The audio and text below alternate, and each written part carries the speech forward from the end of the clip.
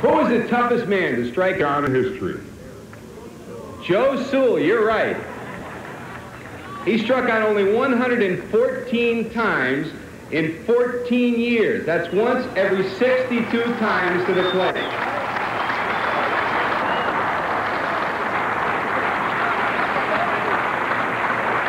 When October the 9th comes around, Joe Sewell will celebrate his 86th birthday.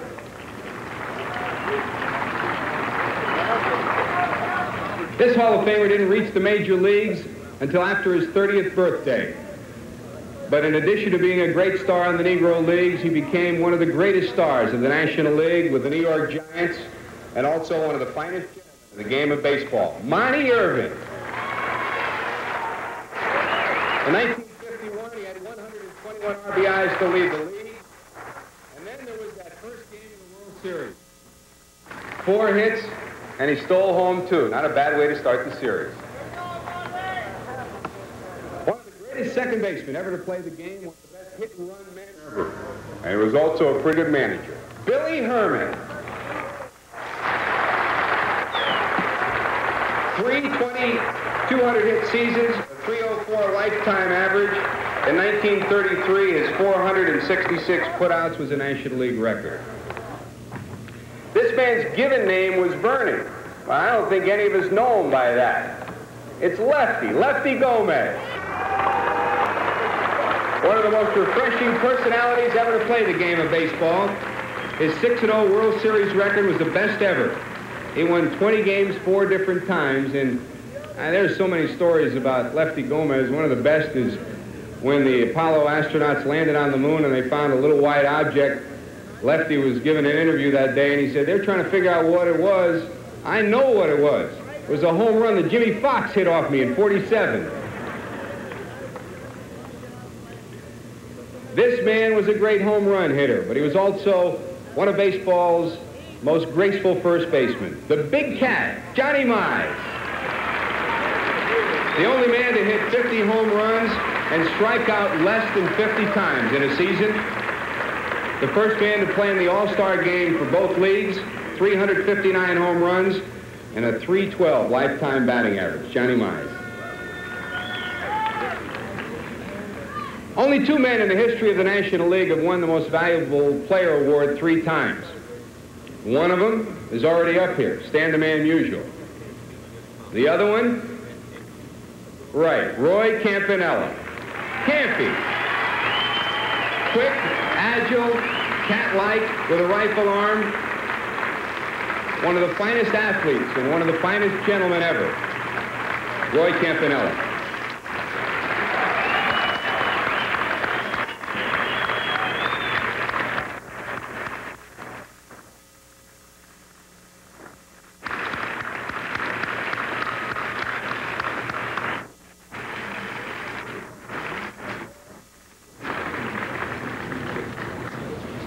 Campy was a true leader.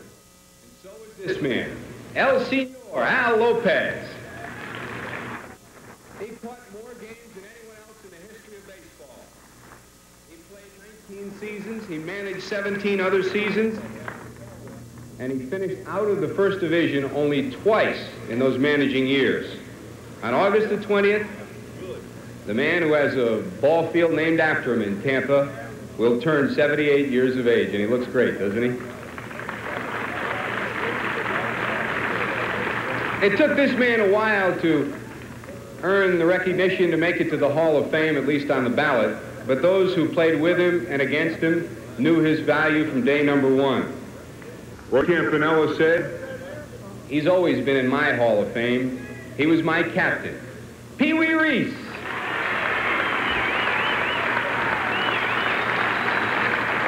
The numbers don't tell the story about Pee Wee. He was the leader. His value was as a catalyst for the Dodgers. And those who were close to the great Jackie Robinson acknowledged that Jackie never would have gotten through that time had it not been for Pee Wee Reese.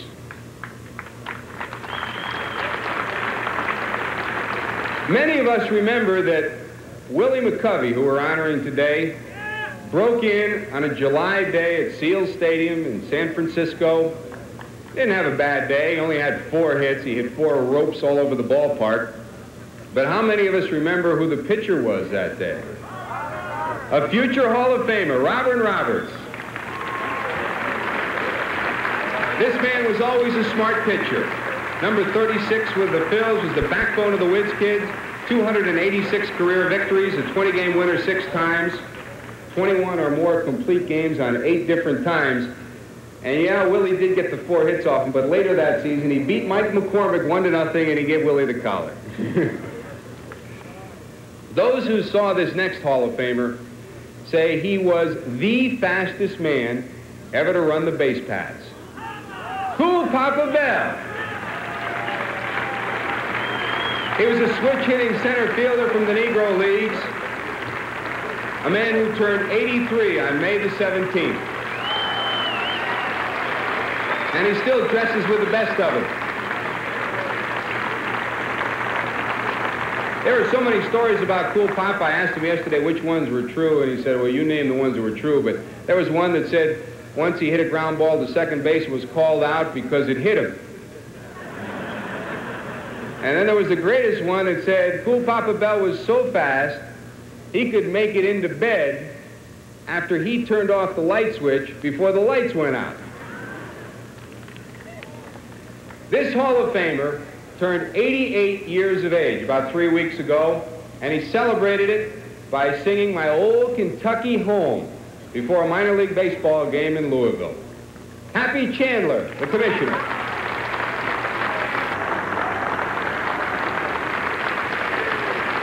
The plaque that former Commissioner Bowie Kuhn read reads simply, iron-willed and honest. And that's what Happy Chandler was. He served as baseball commissioner for six years, and of course, he provided over, presided over the entrance of Jackie Robinson into the game of baseball. Even though this next man turned 70 in April, he can still kick higher than any one of us. They called him country Enos Country Slaughter.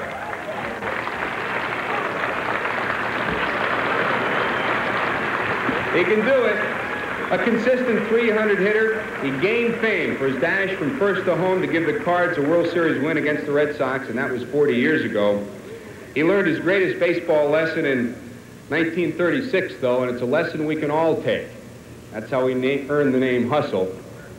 In 1936, his manager, Eddie Dyer, saw him sulking going back to the dugout. He said, you tired, young man? And Enos said, no, sir. But that night he stayed up late, thinking that I'm never going to walk again on the ball field. And in 19 years in the major leagues, one year shy of four decades, he never did walk again on the ball field. That's a lesson we can learn from every one of these Hall of Famers. They hustled, and they gained our admiration. Ladies and gentlemen, the 1986 returning Hall of Famers.